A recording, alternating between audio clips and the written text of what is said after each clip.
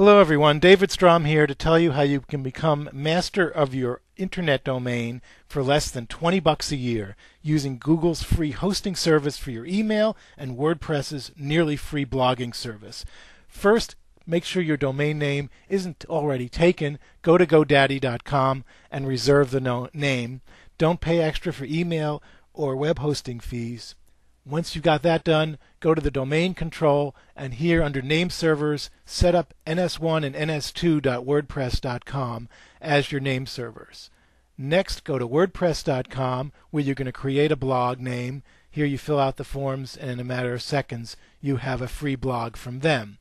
Next, go to google.com slash a. Here you'll see there are three different editions. The standard edition is just fine. Push the sign up button here enter your domain name, and then you'll be taken to a series of forms where you put in some basic information about your company and you create the first administrator account that you're going to use for this domain name. This is the actual email address that you're going to be using, the first email address for your domain name.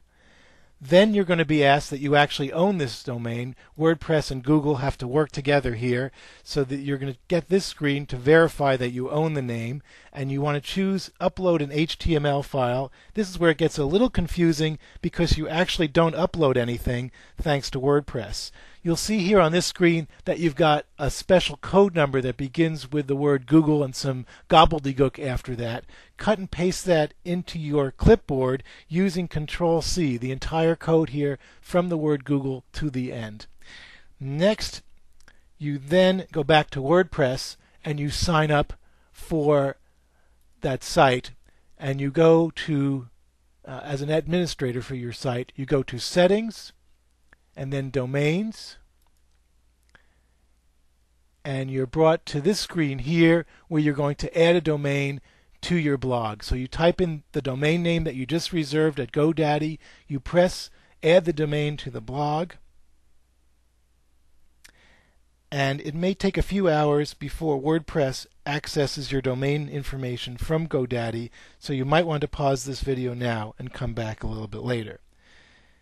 If all works out, you should see a screen that's asking you to pay for your um, for this privilege of WordPress to host your domain, which is $10 a year, or WordPress calls it 10 credits. So you just click on the button to buy that through PayPal, give it your credit card information, and accept the purchase.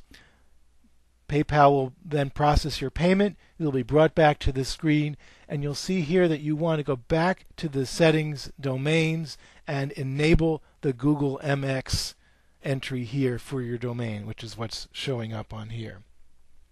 At this point, you hit Control V and you enter the information that you had just pasted from the Google verification step.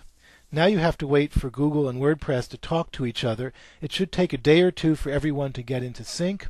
Make sure you copy on a piece of paper all the various username and passwords that you've used for WordPress, GoDaddy, and Google so you can keep them all straight.